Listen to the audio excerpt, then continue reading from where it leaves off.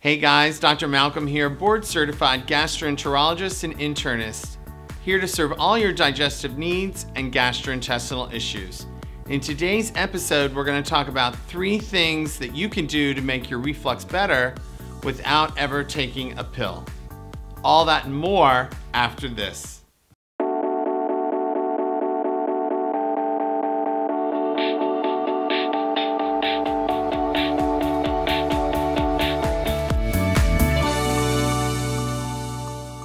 In today's episode, I'm going to give you three recommendations to improve your reflux symptoms without ever taking a pill. So let's jump right into it. Number one, don't eat close to bedtime. All my patients talk about living a busy modern life.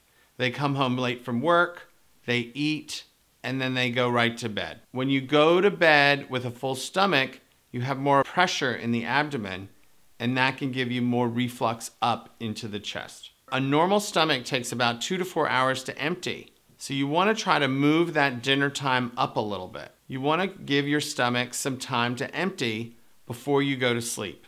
Recommendation number two, try to elevate the head of the bed. I tell all my patients, try to sleep on some kind of incline, even if it's small. So practically speaking, you're trying to use gravity to keep stomach liquid down in the stomach where it belongs. I tell my patients to put two by fours under the top of the bed or the head post. That way they're sleeping on a slight incline.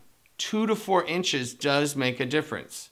Other patients of mine sleep on a wedge pillow.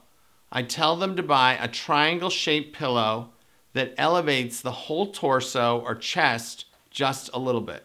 Recommendation number three is lose weight. I tell all my reflux patients try to lose a little bit of belly weight. Losing just a little bit of belly weight will make your reflux better. Remember, in the previous episode, we talked about patterns of weight gain. We know that patients with belly weight or apple shaped weight have more reflux. For every 10 pounds that you lose, you will have a reduction in your reflux. And it'll make a big difference in how you feel. I'm so excited that you joined me in today's episode. I hope that you learned something and I hope you incorporate these recommendations into your daily life.